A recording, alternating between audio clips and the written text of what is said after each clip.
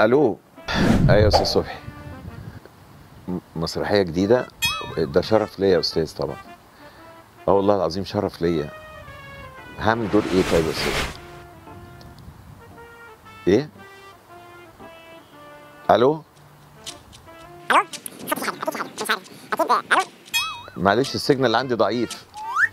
أه، مش سامع حضرتك. أنا هعمل دور إيه في المسرحية؟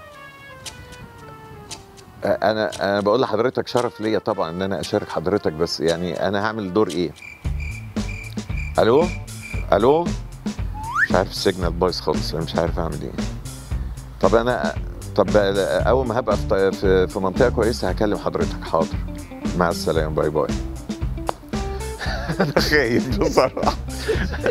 أستاذ صبحي. آه، رجل مسرحي جامد جدا وله فضل عليا. واخد بالك؟ فلو قال لي تعالى شاركني مسرحيه أنا ما أقدرش أقول له لأ. بس هبقى خايف يحصل يطلع الدور وحش يعني انت أو دور مش مش مش على مزاجي أنت فاهم؟ فهبقى خايف هضطر أهرب. في الواقع هقول له إيه؟ أقول له إيه يا أستاذ مثلا؟ مش عارف. بس أنا أعتقد إن محمد صبحي لو هي هي هيبعت لي أشاركه في مسرحيه والله العظيم يبقى شرف لي أقسم بالله يعني أنا بكلمك بأمانة.